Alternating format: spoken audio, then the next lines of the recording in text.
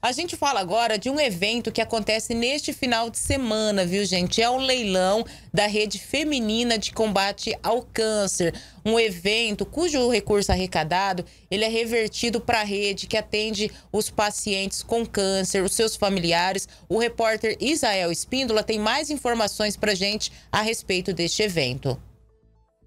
Pois é, Ana Cristina, é neste domingo, 15º leilão aí em prol à Rede Feminina de Combate ao Câncer, com um delicioso churrasco, uma equipe especializada. Sobre este assunto eu vou conversar aqui com a Lourdes Palhares, que é presidente da Rede Feminina aí de Combate ao Câncer. Tudo pronto para no domingo receber os três lagoenses na 15ª edição deste leilão? É, estamos nos finalmente, né? Porque tem coisa que tem que ser feito na véspera ou no dia. Mas nós, nós estamos trabalhando diuturnamente para receber bem os compradores, os, os que vão lá para esse churrasco delicioso, feito por equipe especializada. Nós estamos bem preparados para recebê-los e tenho certeza que quem for vai querer no próximo ano novamente. Dona Lourdes, tem já algum balanço do ano passado e a expectativa para este ano? É, o, ano, o último leilão não foi o ano passado, né? Foi em 22, 2022.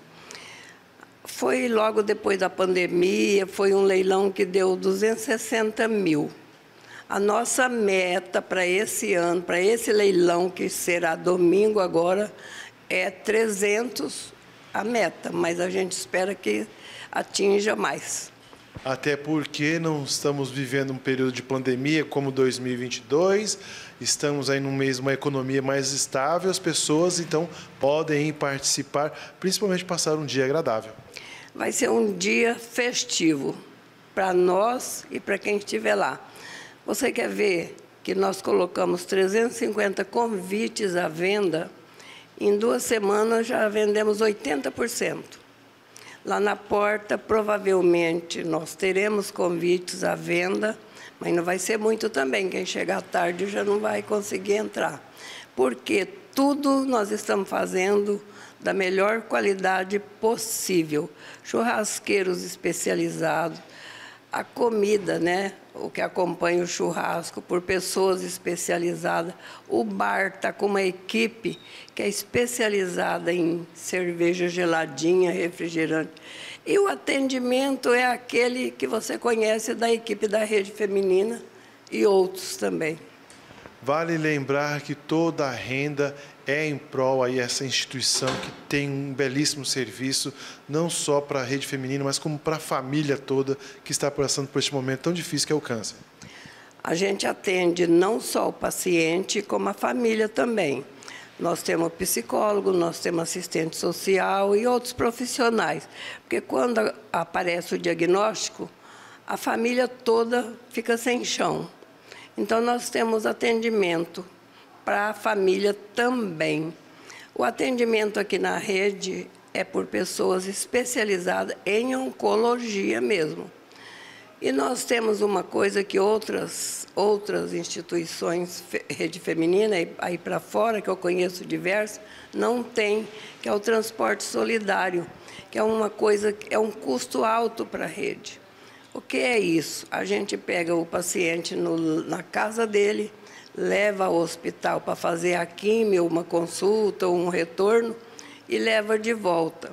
Tem dia de ter sete pacientes para fazer esse tipo de atendimento, mas nós nunca deixamos um paciente sem ser atendido. Muito bem, dona Lourdes. Para a gente finalizar, então, passa aí, faça o convite, inclusive deixando o telefone de contato para que as pessoas possam reservar ou até mesmo vir buscar aí o seu ingresso. Além de reservar o ingresso, que é na rede feminina aqui na João Silva com a Azuleide Pérez Tabox, ainda estamos recebendo prendas, viu? Até sexta-feira, às 11 horas, porque depois a gente tem que prepará-las, né?